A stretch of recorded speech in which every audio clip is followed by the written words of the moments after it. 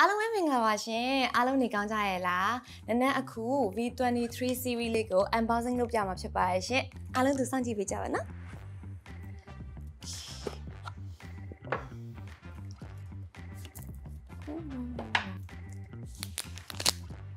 ဝါရွှေရောင်လေးအရင်လာရမကြည့်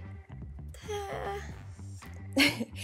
ဒီကာလာလေးက sunshine gold လို့ခေါ်ပါတယ်ဒီ sunshine gold ကဆိုရင်နေအောင်နဲ့ထွက်တဲ့ချိန်ကျရင်ဆို color changing glass ပါတဲ့အတွက်ကြောင့်မလို့ဖုန်း color လေးကစိမ့်ပြရအောင်ပြောင်းသွားတတ်တယ်အကယ်လို့အရေးထဲပြန်ရောက်လာတဲ့ချိန်ကျရင်ဒီလိုရွှေရောင်လေးပဲပြန်ပြီးတော့ပေါ်နေတာပေါ့နော်နောက်ပြီးတော့ပစ္စည်းလေးတွေကိုဖုန်းပေါ်မှာတင်လိုက်မယ်ဆိုရင်အရေးအရာလေးကြံခဲ့အရှင်းချဖို့ကောင်းပါတယ်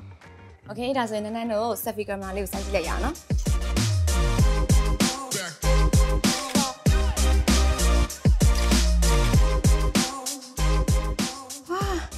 တပုံလေးတွေကလေအရမ်းမိုက်တယ်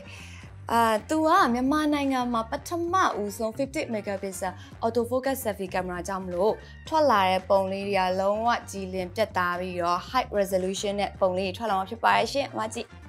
လုံးဝကြည်လင်နေရနော်။မျက်တောင်လေးတွေရောဒီနား shade လေးတွေရော glitter လေးတွေအစပေါ်နေရလုံးဝအရမ်းမိုက်တယ်။ နောက်ပြီးတော့ तू က jewel tone spotlight ပါတဲ့အတွက်ကြောင့်မလို့အလင်းမှာပဲဖြစ်ဖြစ်အမာမှာပဲဖြစ်ဖြစ်ရိုက်တဲ့အချိန်ကျရင်လုံးဝကြည်လင်ပြီးတော့တဘာဝဆန်တဲ့ပုံလေးတွေကိုရမှာဖြစ်ပါတယ်။ main camera ဆိုရင်64 megapixel super sensing camera ပါတဲ့အတွက်ကြောင့်မလို့အရန်မောင်တဲ့နေရာမှာဖြစ်ဖြစ်အရန်လင်းတဲ့နေရာမှာဖြစ်နန်းတို့ဓာတ်ပုံရိုက်တဲ့အချိန်ကျရင်အလင်းရောင်ချိန်ညှိပေးပြီးတော့မှကြည်လင်ပြတ်သားတဲ့ဓာတ်ပုံလေးကိုအမှတ်တရဖြစ်သိမ်းဆည်းထားနိုင်မှာဖြစ်ပါတယ်ရှင်။ဖုန်းလေးကကန်ရတာလည်းအရန်ပေါ့ပါတယ်။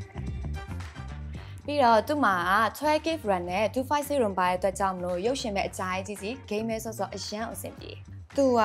44 watt flat charge ပါတဲ့အတွက်ကြောင့်မလို့အားသွင်းတာအရန်ကိုမြန်တယ်။နည်းနည်းတော့အရန်ကြိုက်နေပါပြီနော်။